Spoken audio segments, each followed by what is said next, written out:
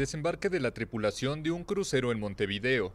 Más de 60 personas, la mayoría de ellas diagnosticadas con el nuevo coronavirus, abandonaron el martes el barco australiano Greg Mortimer para cumplir una cuarentena en dos hoteles de la capital uruguaya.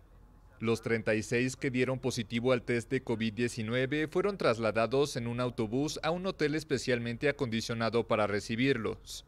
El resto que dieron negativo fueron llevados a otro alojamiento se ha transformado en un, en un foco del cual si no lo sacábamos no se van a terminar por curar y por ende tomamos la decisión de bajarlos con todas las garantías sanitarias para la ciudadanía.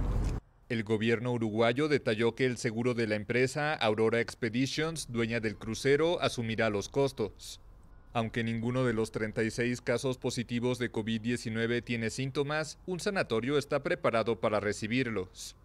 Una vez que pasen 14 días, los que den negativo y permanezcan sin síntomas recibirán el alta para que puedan tomar vuelos comerciales de regreso a sus países.